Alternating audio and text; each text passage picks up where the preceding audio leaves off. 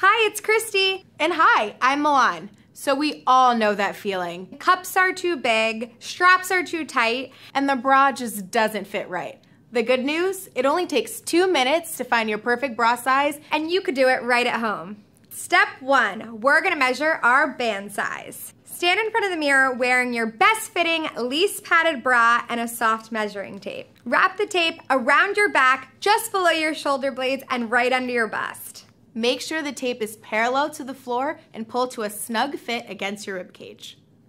Take that measurement and find your band size on the chart below.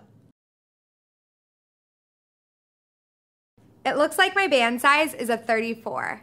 And looks like my band size is a 36. Now on to step two, we're gonna measure our bust. Slide the measuring tape up your back, across your shoulder blades, and around the fullest part of your bust. And make sure your measuring tape is still parallel to the floor. And hold the tape as loosely as possible so that you're not indenting or pressing in the skin. Note the number on the tape. This is your bust size. Remember it, it's gonna help you find your cup size. My bust size measures a 35. And my bust size measures 42. Step three, let's do some math to find your cup size. Subtract your band size, which is the number that we got from step one, from your bust size, which is the number that we got from step two. That number will reveal your cup size, which you can find in the chart below.